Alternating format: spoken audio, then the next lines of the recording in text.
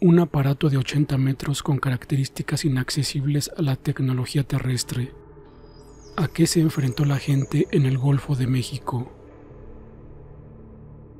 De vez en cuando se observan fenómenos extraños en el Golfo de México, pero los más inusuales ocurrieron entre 1973 y 1976.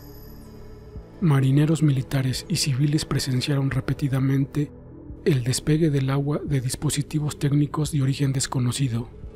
Investigadores y expertos todavía discuten sobre este tema. Algunos afirman que allí hay una base extraterrestre, o representantes de una civilización submarina altamente desarrollada. Los más escépticos consideran que todo esto es una ilusión óptica y una alteración en el funcionamiento de instrumentos y equipos.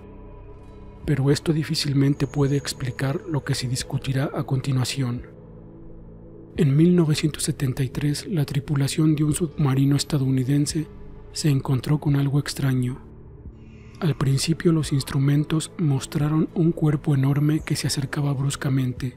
Según los expertos, su tamaño alcanzaba los 60 u 80 metros de largo y su velocidad era ocho veces mayor que la velocidad máxima del submarino. Al mismo tiempo, el nivel de maniobrabilidad era tal que ni siquiera los submarinistas experimentados podían entender a qué se enfrentaban.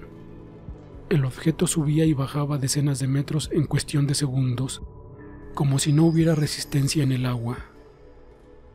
Este enorme cuerpo no identificado giró cerca del submarino durante unos tres minutos y luego desapareció descendiendo abruptamente a grandes profundidades. El incidente fue informado al jefe de la Marina de los Estados Unidos.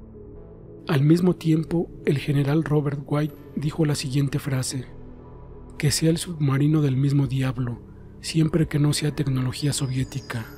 De lo contrario, nuestra flota estará acabada. Por supuesto, esto no podía ser un submarino soviético o algún tipo de dispositivo espía.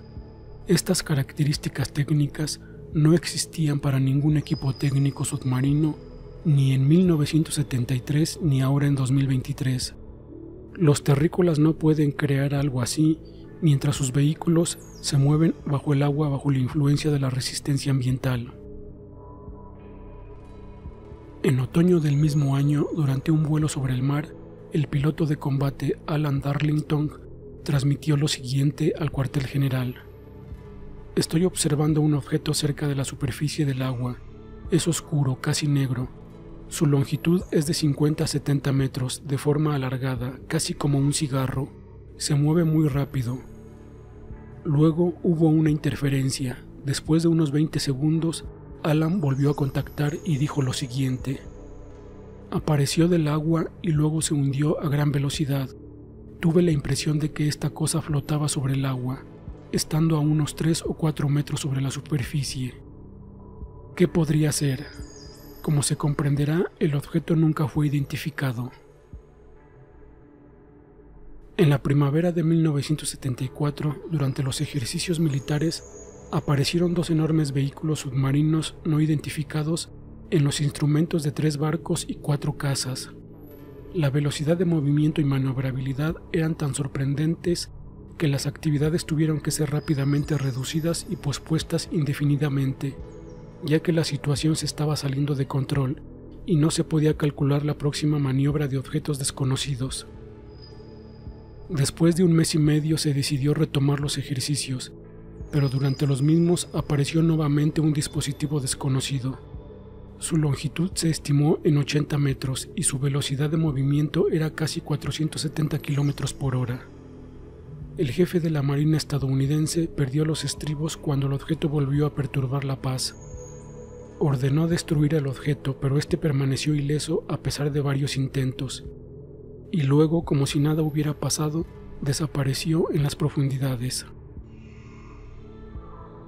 En 1975 no fueron los militares los que se encontraron con este fenómeno, sino un barco pesquero civil. Según testigos presenciales, apareció una roca negra en la superficie misma del agua. Ya era tarde y solo pudimos ver el objeto gracias a los focos. La superficie era de color negro oscuro y parecía perfectamente plana y lisa. Cuando el objeto comenzó a profundizarse, Apareció desde allí un resplandor verde brillante. Los pescadores están seguros de que se trataba de algo metálico y que la luz no procedía del plancton. Un año después, el capitán de un barco turístico se quejó de la aparición de un objeto enorme. Su ruta pasó por el Golfo de México y en algún momento apareció algo gigantesco en los instrumentos. Avanzó a gran velocidad hacia el barco y preocupó seriamente al capitán y a sus asistentes. Afortunadamente todo salió bien y el objeto se detuvo abruptamente y no hubo colisión. El capitán no supo explicar cómo este vehículo logró desarrollar tal velocidad y además frenar allí. En su opinión, se puede hablar de tecnologías excepcionalmente desarrolladas. La tecnología terrestre todavía está muy lejos de alcanzar tales alturas, así lo resumió en una entrevista. Cuando lees algo como esto o miras entrevistas con testigos presenciales, involuntariamente te sorprendes pensando, nuestro planeta es tan grande y poco estudiado por la gente que es posible que otras civilizaciones se escondan aquí.